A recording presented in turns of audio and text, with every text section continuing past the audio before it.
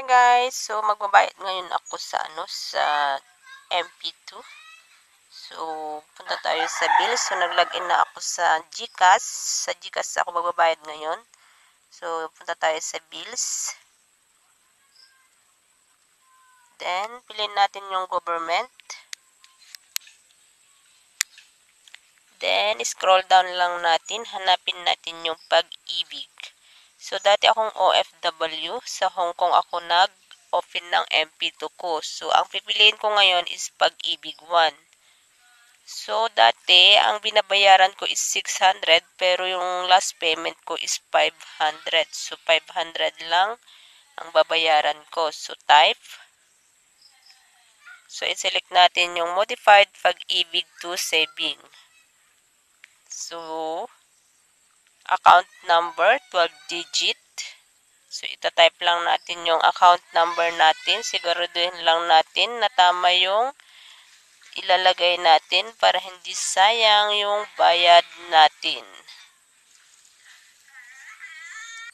Then, period covered from. So, August yung babayaran ko. Then, period to covered. September, ay, September, August 2, 31. Yan, yan, period to cover from, then period to cover to lang naman yan. Then, email, ad, email address natin. Double check natin, guys, yung account number natin para hindi sayang yung bayad natin. Then, next. So, i-confirm natin kung tama yung an natin, yung nilagay natin. So, type, account number, type, modified by ibig to savings, account number, yung 12 digit natin. Period covered from, the covered, period to covered to, then email address, then confirm.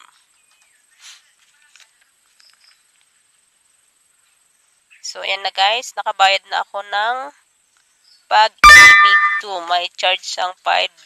So, mga taga-OFW, pwede na kayo magbayad ng GCash para hindi na tayo pumila sa pilaan. So, ito na guys, nakabayad na ako ng pag-ibig saving 2. So, makukuha ko to next year na, ng April, 5 years ko na. So, mga OFW sa Hong Kong, wag yung sayanging magbayad ng MP2 nyo kasi madaming nagre-reklamo bakit pa merong MP2 kasi required na yata sa pagkuha ng OAC ng mga to pag umuwi ng Pinas. So, wag nyong sayangin kasi makukuha din natin within 5 years. So, hello to Ninang Bet and to Ninang Jill. Siya ang sila ang kasabay kung nag-open ng MP2 na una lang sila ng siguro dalawang buwan or isang buwan tapos sumunod ako. Thank you guys sa lahat ng nanonood ng aking video.